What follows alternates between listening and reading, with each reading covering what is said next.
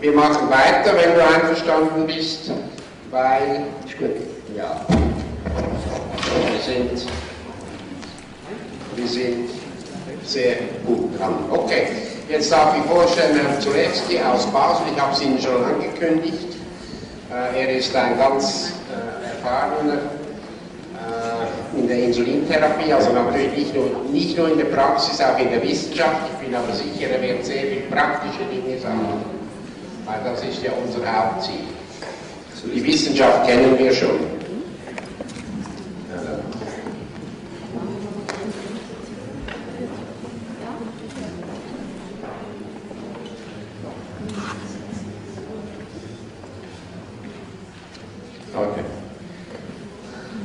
Ich heiße Sie äh, sehr herzlich willkommen hier. Ich vertrete den Urs Zumsteg. Zumsteg hatte ja auf äh, seine Präsentation äh, übertitelt mit besonderen Techniken, äh, vor allem bei Adoleszenten in der Behandlung von Typ 1 Diabetes, mit äh, Continuous Glucose Monitoring Systems und Insulinpumpen und diesen Dingen und Computerprogramme, um das alles zu analysieren. Das zeige ich Ihnen alles nicht. Bis auf eine kleine Ausnahme. Ich zeige Ihnen etwas, wie wir bei uns den Typ 1 Diabetes behandeln, mit den neuesten Erkenntnissen. Ich werde Ihnen zeigen, wie wir Computerprogramme gebrauchen und ich werde ein wenig relativieren die Bedeutung von Insulinpumpe als äh, die goldene Kuh, in, äh, die heilige Kuh in der Behandlung des Typ 1 Diabetes. Übertitelt ist das Ganze Therapie des Typ 1 Diabetes in Basel 18 Jahre nach Einführung des FIT-Programms. Wie gut sind wir wirklich? Und um äh, Sie einzustimmen in das Thema, Sie kennen das alle, deswegen wird es relativ rasch gehen, äh, möchte ich Ihnen ein paar, hopp, das funktioniert, ein paar Slides zeigen. Das erste soll einfach nur den Hintergrund irgendwie darstellen, als 1922 die ersten Menschen mit Insulin behandelt wurden. Da ging es eigentlich nur darum, Leben zu retten. Weil alle Menschen mit Typ 1 Diabetes, vor allem Kinder, Jugendliche, sind gestorben. Alle. Und die Einträge, die ein berühmter Diabetologe, der Elliot Jocelyn, äh, gemacht hat in, seinem, äh, in äh, seiner Agenda oder in seinen Aufzeichnungen, diese Einträge waren sehr kurz. Name vom Patient, Alter, Tod und in welchen Umständen er gestorben ist im Prinzip. Ja, es gibt eine ganze Liste von Einträgen von Elliot Jocelyn. Das ist damals äh, das Ziel gewesen. Später hat man gemerkt, wenn das Insulin vorhanden war, dass es Spätkomplikationen auftraten. Und das wissen Sie natürlich alle, dass Spätkomplikationen auftreten. Der Grund, warum ich Ihnen das hier noch einmal zeige, ist, äh, dass es alle relativ neue äh, Publikationen sind äh, vom letzten Jahr, wo ein paar Statements gemacht werden, die mich nachdenklich stimmen. Wenn Sie hier sehen, hier steht geschrieben, dass die Retinopathie ist praktisch almost universal, also praktisch bei jedem vorhandenen Land genug den Typ 1 Diabetes überlebt. Das ist eine Analyse aus Dänemark, wo man sehr viele Menschen untersucht hat, die 25 Jahre und länger mit äh, Diabetes gelebt haben. Das ist etwas, wo ich ein riesiges Fragezeichen jetzt äh, setzen möchte. Sie werden gleich sehen, warum. Die Therapie des Diabetes hat sich enorm verändert und deswegen auch die Komplikationen verändert. Dann gibt es eine sehr interessante Publikation, auf die ich Sie auch nur kurz hinweisen möchte, aus dem Jahre 2001. Sie erinnern sich vielleicht, es gab diese große Studie, DCCT Trial, Diabetes Chronic Complication Trial, in den USA, wo man Menschen mit Typ 1 Diabetes Anfang, äh, Ende der 80er Jahre eigentlich eingeschlossen hat. Die einen wurden mit einem Zweispritzenschema behandelt. Zweispritzenschema. Ja. Und die zweite Gruppe hatte Basis-Bolus, ein bisschen intensiver. Und von diesen Patienten hat man geschaut, in den allerersten fünf Jahren ihres Diabetes-Daseins, gibt es da schon irgendwelche Hinweise für Retinopathie? Und die erschreckende Erkenntnis, wenn jemand sehr schlecht eingestellt ist, und die hatten alle dort HB1C, 9, 10, diese Größenordnung ja, zu Beginn. Ja, selbst in den ersten fünf Jahren hat ein gewisser Prozentsatz der Patienten bis zu 35 Prozent Zeichen der Retinopathie, wenn man genau schaut. Wenn man eine, in einem großen anderen Zeitschrift, äh, im British Medical Journal, ein, eine Übersichtsarbeit sich anschaut, was ich gemacht habe für das Thema der Retinopathie, dann finden Sie noch im Jahre 2003, ja, finden Sie so eine Kurve, das sind hier Typ 1 Diabetiker, jegliche Form von Retinopathie, das ist die proliferative Retinopathie, in Abhängigkeit von der Dauer des Diabetes. Nach 20 Jahren haben 80 Prozent irgendeine Form von Retinopathie hier und eine proliferative Retinopathie über die Hälfte. Das ist 2003. Ja? Das ist nicht so lange her. Das, da gewinnt man den Eindruck, das ist halt unausweichlich, das ist halt so. Ja, da kann man nichts machen. Das ist aber nicht so. Und wir alle, Sie alle können dazu beitragen, dass es nicht so ist. Der Grund, warum es nicht so sein muss, das ist halt die Abhängigkeit der Diabeteskontrolle hier dargestellt. Das HB1C, je tiefer, desto besser. Und hier die Progression der Retinopathie. Und Sie sehen sehr schön, je besser der Diabetes eingestellt ist, desto weniger Progression der Retinopathie haben wir. Das wird bezahlt mit der, einer erhöhten Häufigkeit von schweren Hypoglykämien. Davor haben wir alle Angst. Wir wollen nicht, dass unsere Patienten auf dem Weg hier zu Kartase Ettingen mit dem Auto irgendwo aufs Feld fahren, weil sie mit der Hypoglykämie wissen, was sie tun. Ja? Das wollen wir alle vermeiden, die schweren Hypoglykämien. Das heißt, hier ist ein gewisses Dilemma. Was man aber mit der, einer guten äh, mit funktionellen Insulintherapie und guten Schulung, was Sie vor allem machen, deutlich reduzieren kann, und das will ich Ihnen zeigen. Wie viel Insulin soll man spritzen?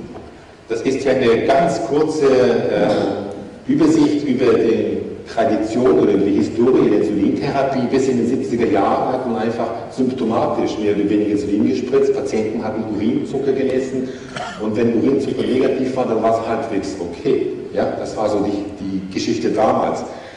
In den 80er Jahren kam Pence und die ersten Blutzuckermessgeräte. Ich kann mich daran erinnern, dass ich im Spital die ersten Blutzuckermessgeräte auch als Student äh, verwendet habe. Nicht, äh, die sehr unpräzise waren im Prinzip. Aber das war das Erste, was man denn, wo man innerhalb von zwei Minuten, das war sensationell, innerhalb von zwei Minuten konnte man Blutzuckerwert bekommen. Ja?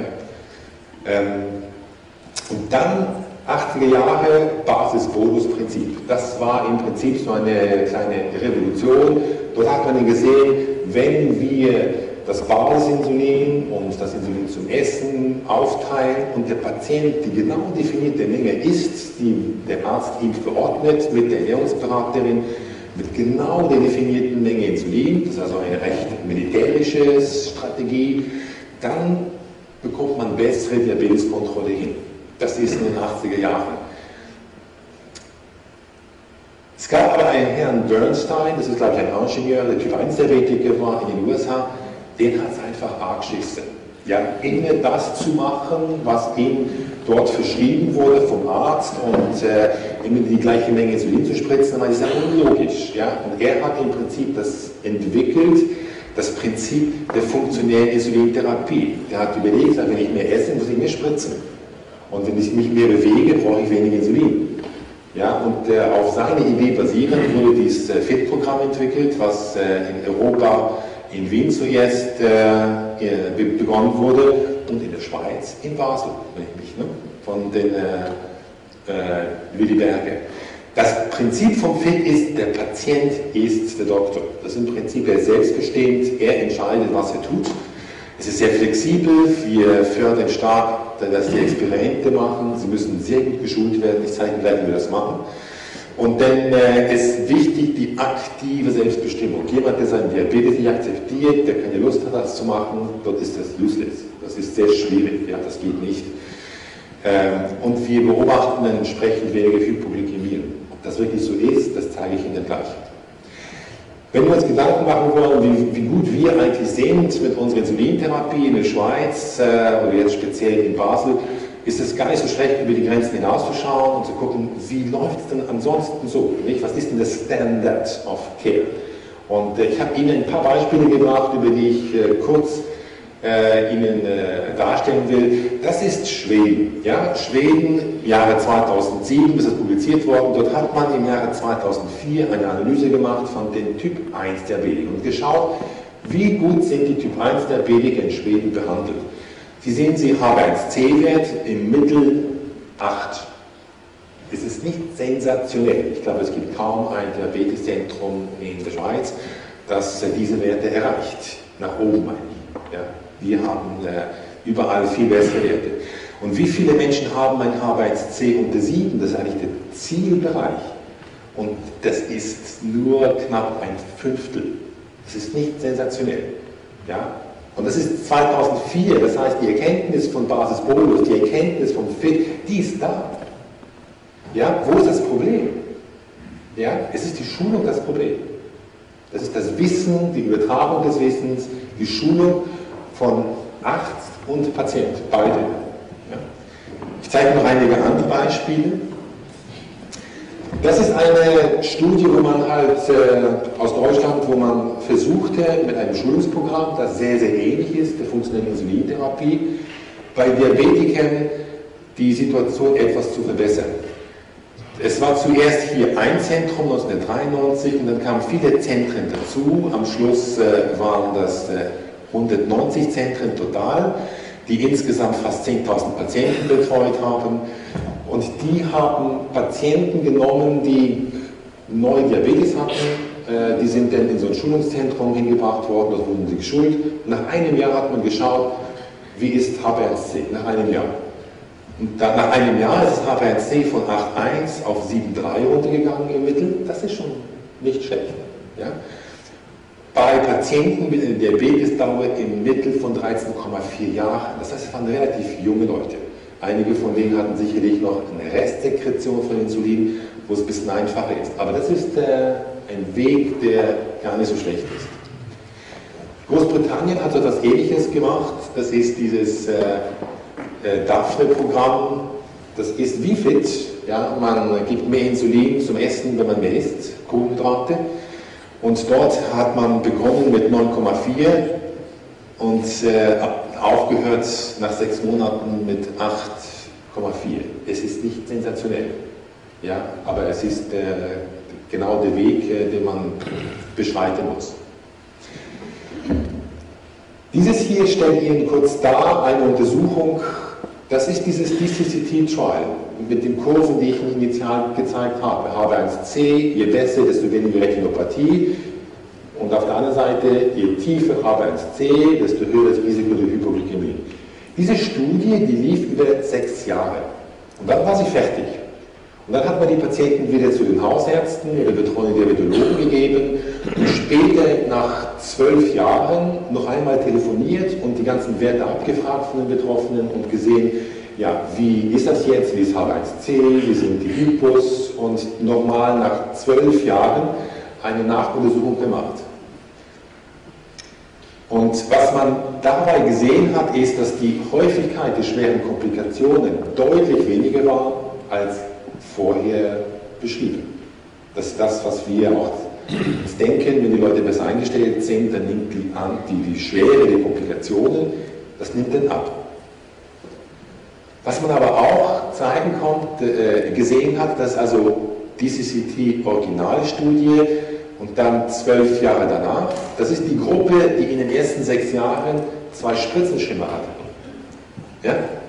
Weil niemand geglaubt hat, dass eine intensive Insulintherapie wirklich äh, einen Benefit macht. Und das ist die Gruppe, die von Anfang an intensiv behandelt wurde. Nach Abschluss, nach den sechs Jahren, haben alle intensive Diabetesbehandlung gehabt. Worauf ich Sie hinweisen möchte hier ist, im Jahre 12 nach Abschluss von der Studie hatten 45% eine Insulinpumpe, das ist Continuous Subcutan Insulin Infusion, und hier waren es 48% in der initial-intensiven Gruppe. Das heißt praktisch jede zweite eine Pumpe in den USA. Ja? Jede zweite. Was Sie hier sehen, ebenfalls ist die, äh, die HB1C-Werte. Jede zweite hat eine Pumpe. 7,8 HbA1c im Mittel äh, in dieser Gruppe, die von Anfang an intensiv behandelt wurde, und 7,7 hinterher, äh, in der Gruppe, die initial konventionell behandelt wurde. Was hier nicht gezeigt wird, was wir aber wissen sollten, in der Studie, in der Originalstudie war HbA1c bei 7,3. 7,4. Das heißt, im Verlauf sind die, die intensiv behandelt wurden, schlechter geworden. Ich habe die, einige der Autoren habe ich gefragt, die die Studie gemacht haben, als ich in den USA war, äh, wie die sich das nur erklären. Und der Punkt ist ganz einfach eigentlich. Ja? Die wurden, die, genau, die, die, die wurden an den Diabetologen, die Hausärzte überwiesen und die hatten keine Zeit. Das ist so banal. In der Studie hat man 30 Minuten pro Patient reserviert.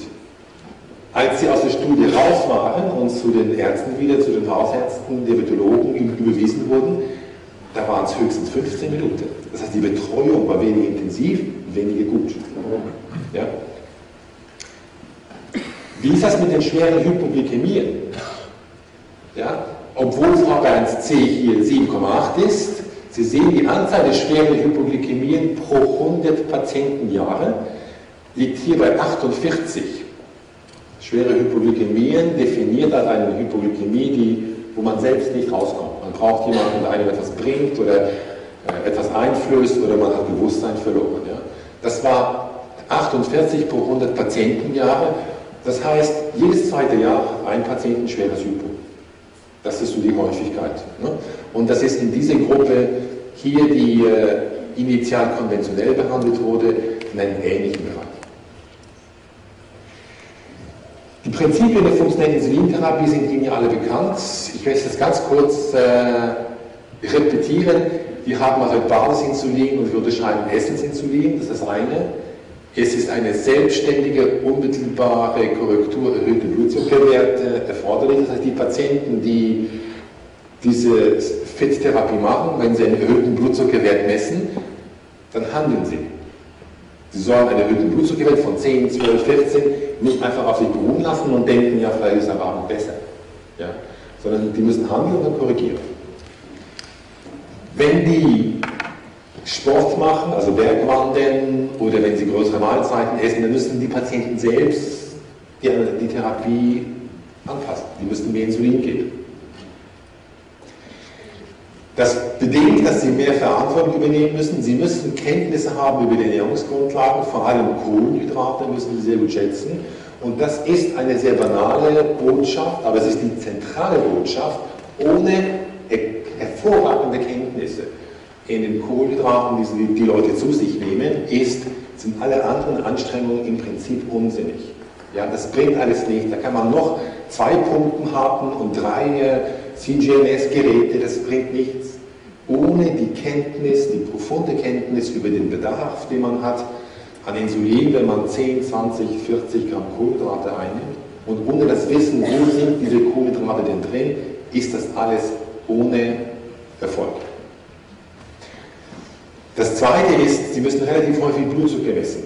Das ist äh, unabdingbar. Der menschliche Pankreas misst, oder jede einzelne Beta-Zelle, die wir haben, die Nicht-Diabetiker, ist in der Lage, Blutzucker zu messen, einmal pro Minute. Einmal pro Minute. Und wir haben eine Milliarde Beta-Zellen in unserem Körper. Ja, das heißt, wenn der Diabetiker zweimal pro Tag misst, ist das nicht ausreichend, ja, um die Fluktuationen zu erkennen und äh, die Dosis anzupassen.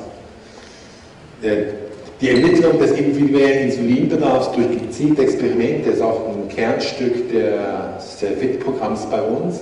Wir fordern sie auf, dass sie halt die Dinge, die sie gerne essen, essen sollen und, und, und dann äh, sollen die die richtige Menge Insulin dazu nehmen und überprüfen, ob das stimmt. Ich habe beim FIT-Kurs letzte Woche jemanden gehabt, der hat drei Kugeln Eis gegessen hat er ungefähr 30 Gramm Kohlenhydrate abzudecken, aber sie hat die Hälfte des Insulins gegeben, was sie sonst geben würde, weil sie hatte Angst, dass sie vielleicht eine Hypo hat. Und für den nächsten Fit-Kurs, also der morgen wieder stattfindet, hat sie die Aufgabe, nochmal drei Kugeln Eis zu essen. Aber dann sechs Einheiten Insulin statt freizugeben. Ja? Also die, wir fördern, wir stimulieren Experimente, sodass die Leute durch die Dinge im Alltag, die sie auch gerne haben, das erfahren, wie funktioniert es bei mir? Wie viel Insulin brauche ich und geht das? Das praktische Vorgehen sind Gruppenkurse, die wir für sehr sinnvoll erachten, weil das eine hervorragende Interaktion gibt. Man lernt viel voneinander. Ein zentraler Punkt ist bei uns immer der Fastentag. Das ist für alle Beteiligten, für Arzt und Patient immer ein Aha-Erlebnis. Ja? Leute, die eine katastrophale Blutzuckerwerte haben zwischen 2,5 und 25, sie können dann im Fastentag einfach erkennen, wie unglaublich stabil die sind. Dass sich da nichts bewegt, dass die Blutzuckerwerte variieren zwischen 4 bis 8 oder 9 und ansonsten bleibt es extrem stabil. Das ist für die Patienten ein enormer Wissensgewinn. Das ändert vor allem deren Einstellung zu Diabetes oder deren Einstellung zur Insulintherapie. Dann haben wir halt die Mahlzeitentests, von die ich kurz angedeutet habe. Wir fordern die auf, halt die richtige Korrekturinsulin äh, zu ermitteln und die Anpassung wegen körperlicher Aktivität. Das wird alles im Rahmen des Kurses durchgeführt. Die Patienten müssen halt ein Blutzuckerbüchlein führen, für diesen Kurs Ernährungsprotokoll schreiben, damit wir wissen, wie viel Kohlenhydrate sie eigentlich so essen. Und wir haben dann auch so einen Fragebogen, wo wir überprüfen, was wissen die Leute eigentlich von Diabetes. Ein zweiter sehr zentraler Punkt bei uns ist, dass wir die Ärzte schulen. Also kein Assistent bei uns bekommt eine Typ 1 Diabetiker zu Gesicht, der nicht geschult ist in Betreuung von Typ 1 Diabetikern. Die werden alle mit supervidiert.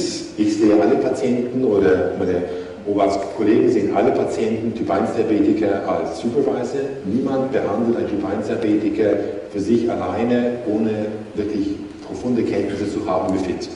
Am Schluss machen alle Assistenten bei uns das FIT-Programm selbst. Die machen den Kurs selbst mit mir als Supervisor. Das zweite ist, wir wenden die Prinzipien vom FIT, besprechen wir mit jedem Patienten in der Sprechstunde. Wenn er wieder kommt zur Kontrolle, dann reden wir mit ihm wie im Rahmen vom FIT-Kurs. Wir fragen, wie viel Kohlenhydrate haben Sie gegessen, wie viel Insulin haben Sie gespritzt, wie war die körperliche Aktivität zum Zeitpunkt ABC. Wir versuchen, FIT zu implementieren in den Alltag, in die Sprechstunde. Und damit das effektiv funktionieren kann, brauchen wir auch ein Computerprogramm, sonst ist das nicht möglich. Wenn Sie das Blutzuckerbüchlein durchblättern, es ist unmöglich, sich dort ein Bild zu geben. Ja? Das ist hier so eine Aufzeichnung eines Patienten im Rahmen eines Fitness. Sie, Sie, sehen die Zahlenkolonnen, nicht? Das ist hier die Uhrzeit, das ist Depoinsulin, hier haben Sie die Blutzuckerwerte. Ja? Und das alles zu bearbeiten ähm, im Rahmen der Kontrollsprechstunde mit 30, 40 Tagen nach hinten, das ist praktisch unmöglich. Das ist jemand hier, der ein wenige Zahlen hat, keine Kohlenhydrate aufgeschrieben, aber schauen Sie sich mal an, das sind die Blutzuckerwerte, das sind die Insulindosen, das kann man auf einen Blick unmöglich verarbeiten. Ja, deswegen ist es sinnvoll, ein Computerprogramm zu haben. Patienten kommen zu uns mit diesen Blutzuckermessgeräten und wir begrüßen sie mit vielen Kabeln damit Sie die Blutzuckermessgeräte an den Computer überhaupt anschließen können. Und wie sieht so ein gutes Profil aus?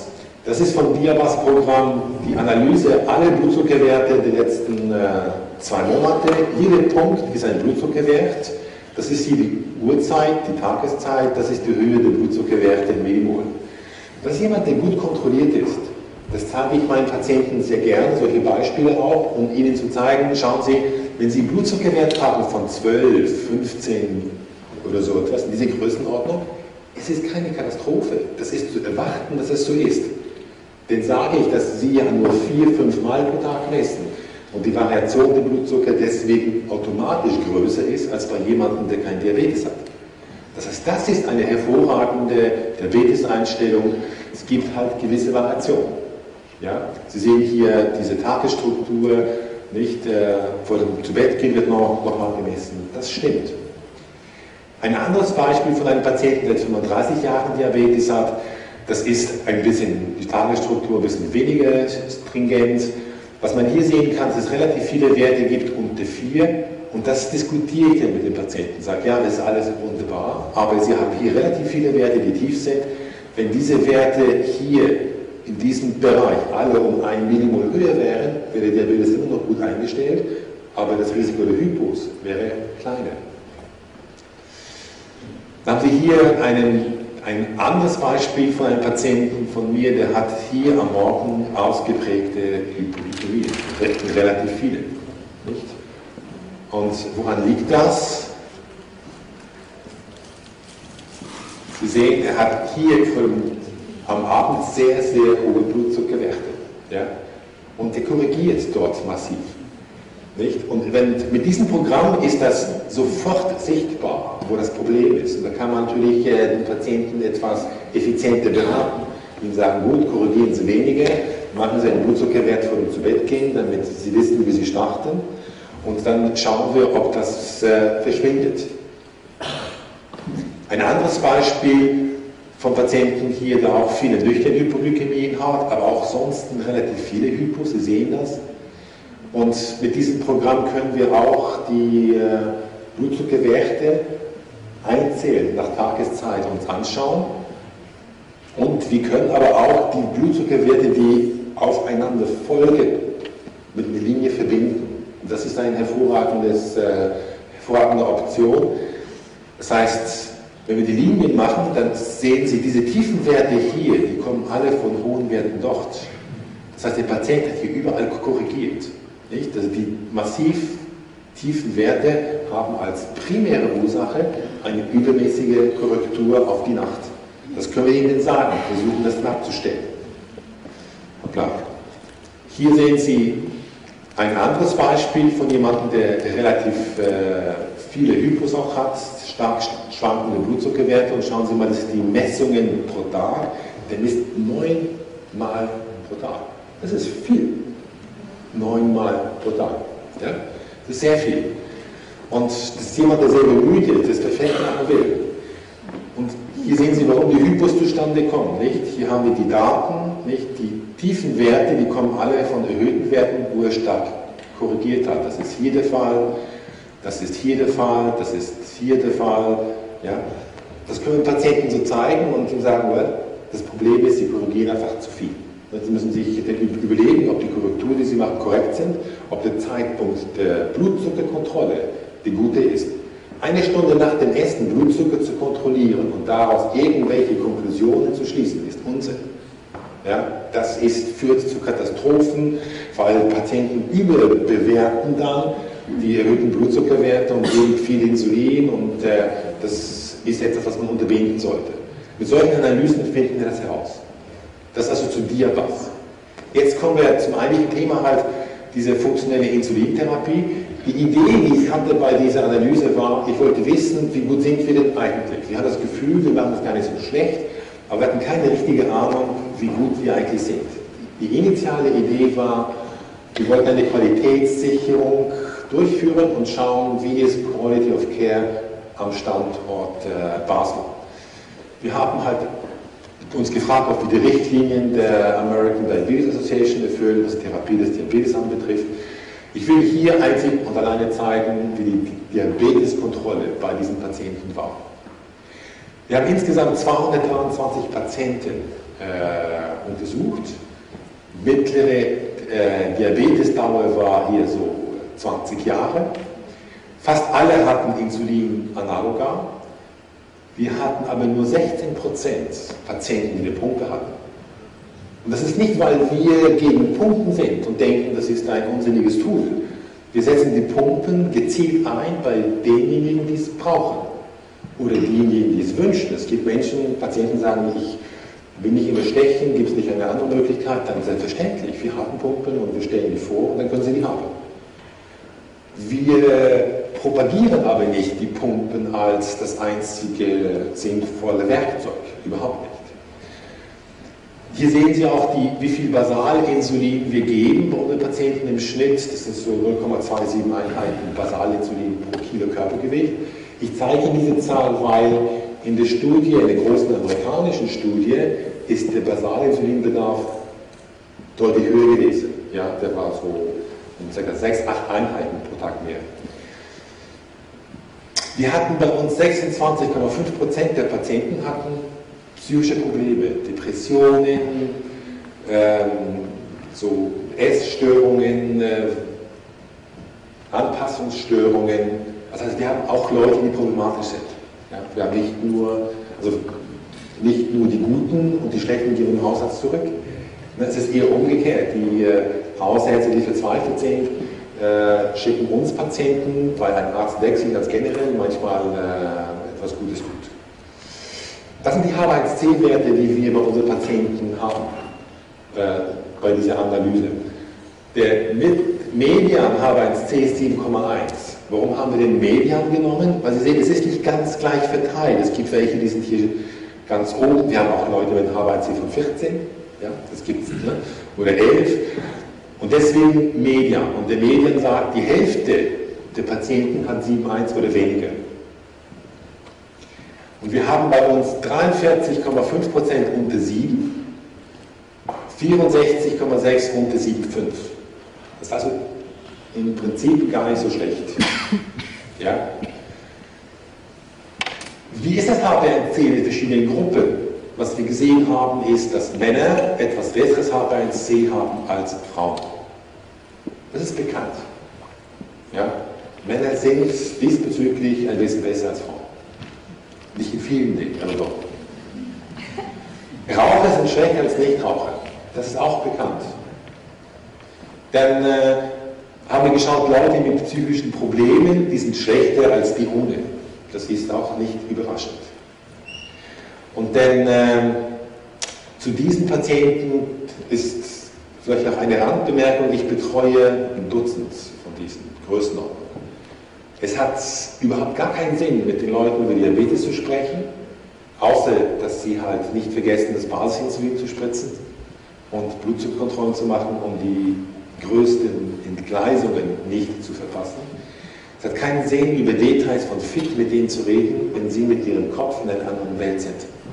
Mit einer Welt, die mit ihren seelischen Sorgen, Depressionen, was auch immer äh, zu tun hat. Die, sind, die haben keinen Zugang für diese Art von äh, Diabetesbehandlung und Fit, solange sie in der Depression oder neurotischen Störung völlig woanders sind. Das ist Zeitverschwendung. Was meine Strategie ist, jeder hat so seine spezielle Strategie, ist, die Leute engmaschig zu kontrollieren, sie zu begleiten und abzuwarten, dass der Zeitpunkt kommt, wo sie etwas besser die, äh, die äh, Botschaften von Diabetes aufnehmen können und dann die Behandlung zu intensivieren. Das heißt, die psychischen Probleme, äh, wenn die im Vordergrund stehen, ist das für jeden extrem schwierig. Und mit Diabetes äh, nach dem, einem Fit-Schema oder so etwas ist es extrem, extrem schwierig. Ja, also dort, das sind die, die bei uns auch H1C von 10 oder 11 haben. Dann haben wir geschaut, wie hängt H1C-Wert von verschiedenen äh, Gruppen ab. Wir haben geschaut, die Leute, die Diabetes haben unter 5 Jahre oder über 5 Jahre, die, die unter 5 Jahre Diabetes haben, die bei uns, die haben H1C 6,7 das liegt daran, dass die eine Restsekretion haben. Wir haben viele ältere Menschen, die später Diabetes bekommen und dort ist die Restsekretion noch relativ lange erhalten. Das begünstigt eine gute Diabeteseinstellung. Ja? Und ob die Leute in dem FIT-Kurs drin waren, im Gruppenkurs, oder ob wir das während der Sprechstunde gemacht haben, da haben wir keinen großen Unterschied gesehen. Das mich ein bisschen überrascht. Ähm, denn hier jetzt die Diabetesdauer, hier oben 9 bis 9, 10 bis 19 Jahre, Anzahl der Patienten, die wir untersucht haben, und dann H1C-Wert. Sie sehen, wir haben einen Median H1C um 7,1 praktisch bei allen Gruppen. Ja, die, die über 40 Jahre Diabetes haben, bis äh, die, die 10 Jahre Diabetes haben. Das ist sehr stabil. Das heißt, äh, das ist bei allen Gruppen im ähnlichen Bereich, außer die, mit der kurzen Diabetesdauer, die sind noch besser, weil dort eine Restsekretion ihnen das Leben erleichtert. Gehen wir zu den Komplikationen, das ist die gleiche Darstellung. Ja? Wir haben geschaut, wer von denen hat Retinopathie mit bis 20 Jahren Diabetesdauer. Und das sind 16 Prozent nach unseren Angaben. Weil das so unglaublich ist, ähm, machen wir damit eine Studie mit, äh, mit den Augenärzten in Basel. Wir wollen das genau wissen, weil es kann natürlich sein, dass die Angaben, die in unseren Krankengeschichten sind, nicht so extrem präzise sind, dass einige minimale Veränderungen der Augenarzt vielleicht gar nicht erfasst hat. Ja? Deswegen wollen wir mit einer äh, Studie jetzt standardisierten Untersuchung bei allen das nochmal überprüfen, ob das denn stimmt. Sie erinnern sich an die Abbildung mit der Retinopathie in den ersten 20 Jahren 80% Retinopathie und 60% Größenordnung äh, oder 50% proliferative Retinopathie, das haben wir nicht. Ja? Sehen auch hier, dass ein Sprung ist von dort nach dort. Der Sprung ist dadurch bedingt, dass die Leute, die vor 20 Jahren Diabetes bekommen haben, die haben von Anfang an eine intensivierte Insulintherapie, von Anfang an fit und waren von Anfang an viel besser behandelt als diejenigen hier, ja, die eine hohe äh, Prävalenz von Retinopathie haben. Wir waren erstaunt über das gute HB1C. Ja, dass es, äh, haben das überprüft und das stimmte einfach. Äh, da haben wir uns gefragt, nun ja, wahrscheinlich sind die Leute in der Stadt sowieso viel klüger als der ganze andere Rest und die Basler sowieso. Nicht? Wir haben uns eigentlich sehr kluge Patienten. Ich habe also untersuchen, ich habe geschaut, wir schauen mal nach den Berufen. Nicht? Äh, welche Patienten haben wir?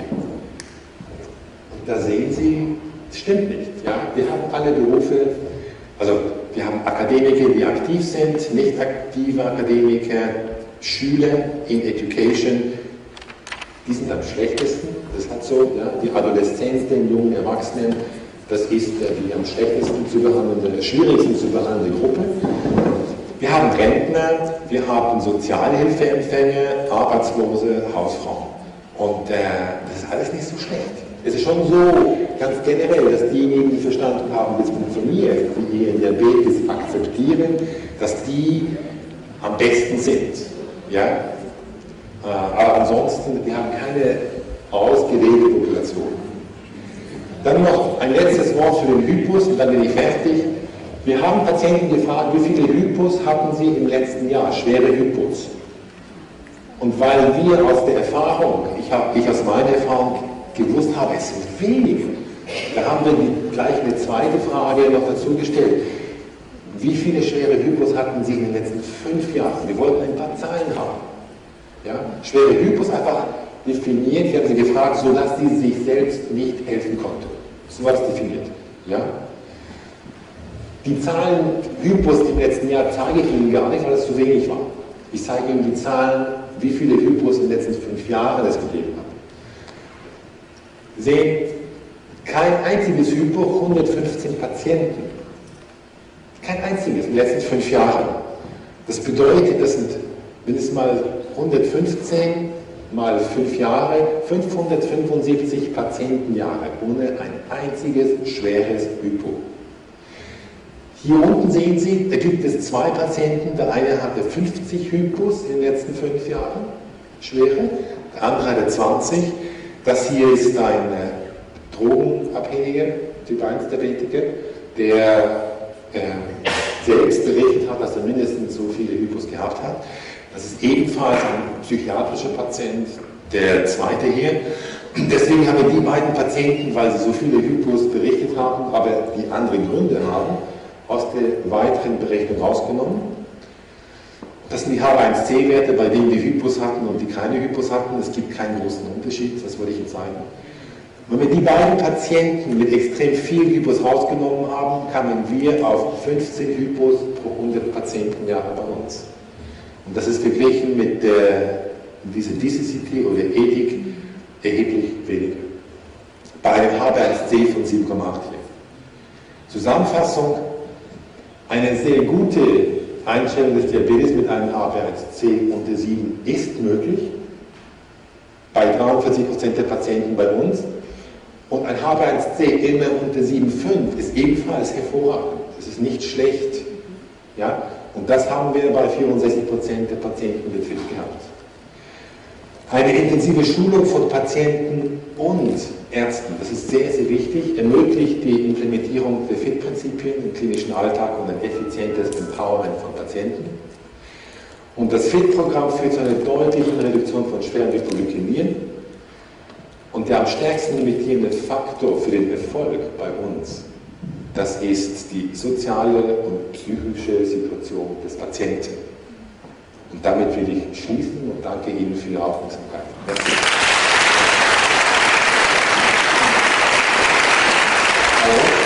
Also wunderbare Übersicht über Typ 1. Es war auch für Rolf Gräni und mich als einzige Assistenten in Basel, ich habe das schon erzählt, 1981 haben wir beide zusammen auf der Abteilung in Basel gearbeitet und jetzt bin ich wieder up to date. Äh, gratuliere, sehr, sehr guter Durchschnitt natürlich und das ist ganz eindrücklich. Nun äh, noch einige ganz kleine Sachen, äh, weil wir wollen dann auch weitermachen. Es zeigt, eine gute Einstellung ist möglich, die Schulung ist wichtig. Wir sind hier wegen der guten Schulung. Äh, du hast das bewiesen, das ist Voraussetzung, das habe ich gesagt. 1985 nicht war, also wie die Basis-Bolus-Therapie, die natürlich nicht so war, wie die Jungen meinen. Das war natürlich ein, ein absolutes Fit. Äh, aber das können wir dann mal diskutieren. Da gibt es eine schöne Korrespondenz von mir mit Professor Berger darüber. Das Basis-Bolus-Prinzip wurde eingeführt als funktionelle Insulintherapie. Aber das ist nicht wichtig. Wichtig ist, weil ich das erzählt habe, dass man dann eben gute Schulung braucht und man braucht die entsprechend ausgebildeten äh, Leute. Noch zum Blutzuckerbüchlein, das hat mich fasziniert, der Diabas, wir haben einen Fall besprochen hier, das ist etwas Gutes, das ist kein Zweifel, aber ich glaube, man kann auch mit dem alten Blutzuckerbüchlein, wenn man es anschaut äh, und sich etwas Zeit nehmen, auch arbeiten. Aber ich habe nichts dagegen. Aber das Blutzuckerbüchlein wenn man es anschaut und schaut, was dort passiert, ist auch nicht schlecht. Was wolltest du sagen? Ja, ich darf, ich muss aber sagen, das Büchlein, das, was wir hier gesehen haben, ist natürlich wie das alte Büchlein. Wir haben heute andere Büchlein, die ähnlich aussehen wie die 24-Stunden-Protokolle beim ja, haben wir auch. Und wir verwenden eigentlich, wenn wir Büchlein verwenden, nur noch solche, wo prä- und postprandiale Werte eingetragen werden können. Nicht müssen, sondern können dann ist es lesbar auch ohne Computer. Also ich möchte einfach für die, die nicht Diabas haben, eine Lanze werfen, dass wir die nicht einfach als blöd hinstellen. Nein, nein, das, das ist auch nicht so gemeint. Nein, nein, so, so, so ist es nicht gemeint. Ich sage, ich sage meinen Patienten, wenn sie einen HbA1c haben und eine 7 und eine Hypo, dann ist es egal, wie sie das machen. Müssen sie gar keine Blutzucker vermessen von mir aus. Ja, spielt keine Rolle. Ja, wenn das möglich ist. Das wenn das Ziel erreicht wird. Wie das gemacht wird, sei jedem nicht überlassen. Es geht natürlich nicht um eine Blutzuckerkontrolle, es geht natürlich nicht um eine häufige Blutzuckerkontrolle. Aber das zeige ich als Grundprinzip. Wie ein Arzt nun den Diabetiker betreut, ob er mit Büchlein oder ohne macht, ist völlig egal, wie das funktioniert. Mein Problem, das Problem, was wir bei uns sehen, ist, dass viele Patienten nichts mehr aufschreiben. Wir haben keine Blutlange, die kommen mit dem Blutzuckermessgerät und sagen, es ist da alles drin. Ne? Du kannst ja auf dem Computer das Gerät gucken, ja?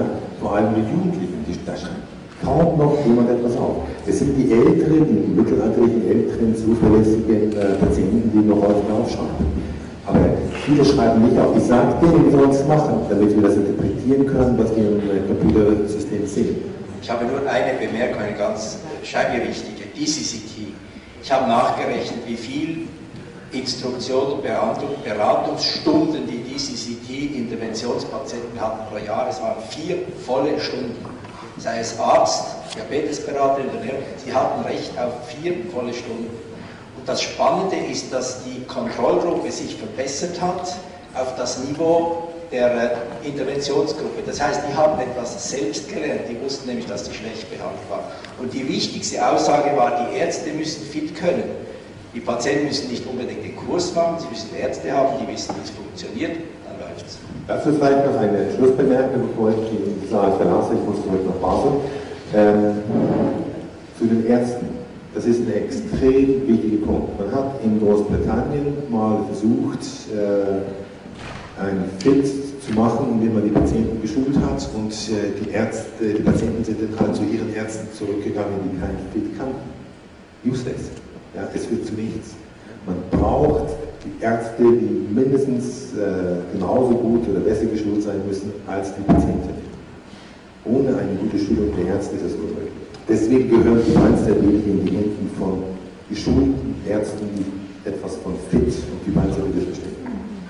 Okay, das ist ein gutes Sch Schlusswort. Das bedeutet, dass alle immer in die Testkurse kommen müssen sonst kriegen Sie diese und HB1C-Werte nie hin. Ich möchte jetzt dir nochmals danken für diese